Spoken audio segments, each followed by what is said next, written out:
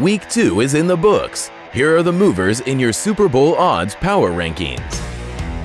The Eagles tumbled to number 8 after a heartbreaking loss to the Falcons. The Ravens squeaked past the Cardinals and climbed to number 9. The Lions jumped up 5 spots, while the Broncos lost to the Bears on a last-second 53-yard field goal and dropped 5 spots. See a hot bet? Lock it in at Bodog.